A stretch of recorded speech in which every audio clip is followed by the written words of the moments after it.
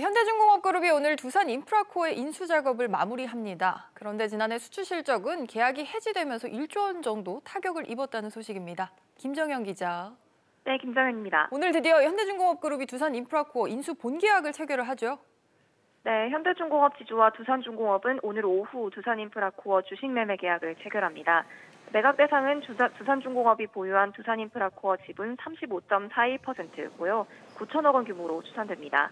앞서 양사는 지난달 말까지 주식 매매 계약 체결을 마무리할 계획이었지만 서류 정리 작업을 거치면서 계약일을 오늘로 연기했습니다.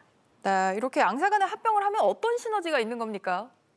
네, 인수된 두산인프라코어는 현대중공업그룹 건설기계 계열사인 현대건설기계와 합병될 예정인데요. 업계는 양사가 합병되면 현대건설기계가 글로벌 7위 업체로까지 도약할 수 있을 것으로 내다봤습니다. 현재 두산인프라코어는 3.3% 점유율로 업계 9위, 현대건설기계는 1.2%로 22위에 올라 있습니다. 하지만 또 보면 최근에 수출 실적은 타격을 입기도 했습니다. 네, 그렇습니다. 현대중공업그룹은 계열사인 현대중공업과 현대사모중공업의 선박 건조 계약 일부가 해지됐다고 어제 공시했습니다. 지난해 11월 오세아니아 소재 선사와 맺은 초대형 원유 운반선 VLCC 열척 건조 계약으로 총 9,800억 원 규모입니다.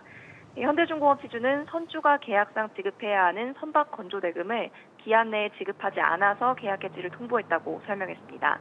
이번 해제된 계약을 제외한 현대중공업 그룹의 지난해 조선 부문 수출 실적은 총 106척, 하나로 약 10조 3천억 원입니다. SBS 비즈 김성현입니다.